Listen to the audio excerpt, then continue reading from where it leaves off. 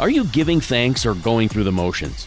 This is In Through the Outdoors, and I'm your guide, Chasen Walter. I started this program in May, and it's already episode 179. But I couldn't have done that without the kindness of people in the outdoors, most of whom didn't even know who I was. So thank you to Jeremy Smith, Brian Bro Brosdahl, Eric Brandwright, Joel Nelson, Johnny Candle, Steve Zippy Doll, Brian Bashore, Louis Valenz, Jared Stroman, Mike Peluso, Joe Crapser, Mark Steck, David Januszewski, Mike Riley, Austin Felix, Kayla Bendel, Troy Deedy, Clay Hool, Cliff Perch, Bill Katz, Zach Axman, Nick Munt, Brad Hawthorne, Rick Darling, Jared Fredericks, Art Lujan, Frank Bauer, Katie Hill, John Prochnow, Todd Heitkamp, Tony Mariotti, Trent Dirks, and, and of course my mom, who recently called me in the middle of an episode.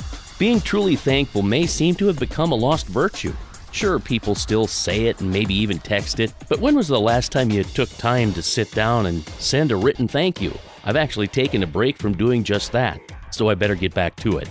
So, thank you to all those wonderful people who took time out of their day to provide content for this program.